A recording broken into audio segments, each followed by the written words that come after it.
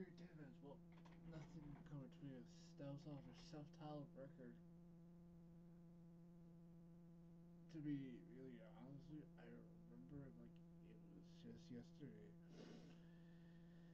And, uh,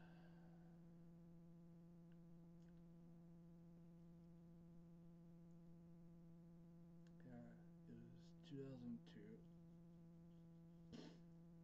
Their record just came out. And I was School it's regional at that time. And I was in the cafeteria and, and the TV was on. MuchMusic at that time was playing. That's kind of between us. And I was singing and I was just like, oh, this is like right up my alley. I'm singing along to the whole song. Nothing. And everybody else